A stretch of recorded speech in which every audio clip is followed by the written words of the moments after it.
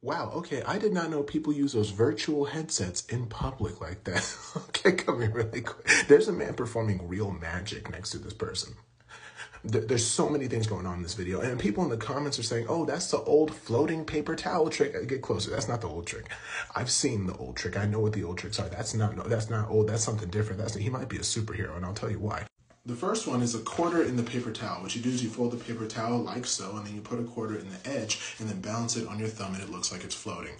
But again, with this illusion, right, you still have a hand connected to the paper towel. The next one is string, either horizontally or vertically. But you saw in there, he went vertically and then horizontally and moved it downward, meaning there was no string connected from the ceiling or from the sides, which is sad. Again, that is not explainable.